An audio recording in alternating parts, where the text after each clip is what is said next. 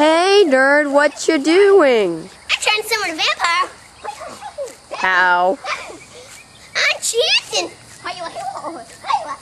But you're chanting at a tree. No. Booga, booga, booga. Boo. Ah, kitty.